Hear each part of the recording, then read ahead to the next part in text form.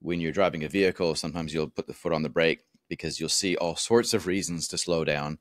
But if we think about this singular focus, it's almost like the car is going down a really steep hill and you have to slam on the brakes pretty hard. But at some stage, you reach the bottom of the hill and it starts going up. And if you keep on slamming on the brakes with the same amount of force, you're going to come to a complete stop and potentially even go backwards. And that's kind of what it feels like right now. It kind of feels like we're just at the bottom of the hill and the same level of braking force is being applied by the central bank.